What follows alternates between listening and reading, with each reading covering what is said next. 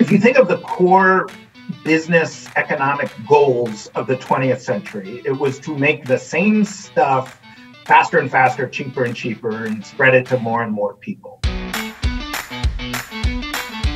And in that context, you really do need a lot of worker bees. You need a lot of people following the way we do things at this company. And you don't want somebody on the ivory soap line or the Ford production line to be expressing their individual passion through how they make ivory soap.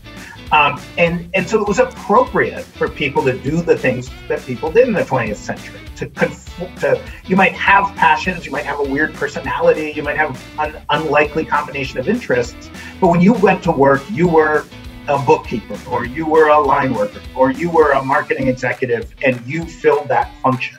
And the last thing you wanted to do is tell your boss, hey, I have this new special, unique way to do, be me.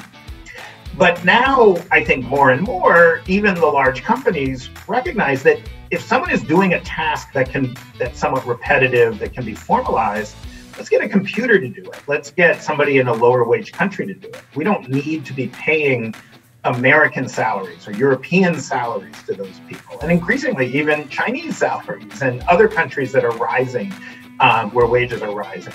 So you need to find that thing that you do add, that unique value you add to the company.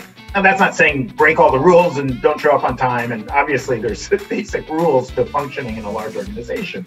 But if you don't have a way of articulating and identifying what you uniquely bring, your particular passions, then you're probably not going to have a long and successful career, I would think.